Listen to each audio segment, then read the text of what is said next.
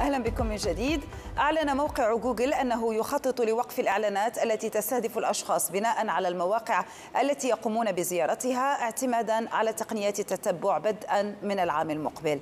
صحيفة وول ستريت جورنال نقلت عن شركة الفابت المالكة لموقع جوجل أن القرار الصادر عن أكبر شركة إعلانات رقمية في العالم قد يساهم في دفع صناعة الإعلانات بعيدا عن استخدام مثل هذا التتبع الفردي.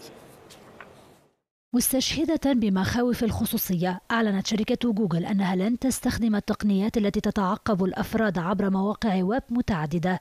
هذه استهلالية صحيفة ذا واشنطن بوست الأمريكية بشأن مخطط جوجل لوقف بيع الإعلانات استنادا إلى تصفح الأفراد عبر المواقع الإلكترونية وهو تغيير يمكن أن يسرع التغييرات في صناعة الإعلان الرقمي.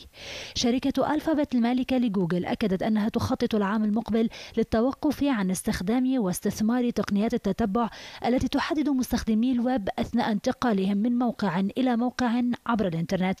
ذا واشنطن بوست ذكرت بين سطورها أن جوجل استحوذت على 52% من إنفاق العام الماضي على الإعلانات الرقمية العالمية البالغ 292 مليار دولار. واختتمت الصحيفة الأمريكية مقالها بالإشارة إلى أن شركة جوجل نشرت عن تقنيات استهداف الإعلانات الجديدة التي ستعزز الخصوصية وأنها اختارت وضع رهان طويل المدى على ترسيخ مفهوم الخصوصية.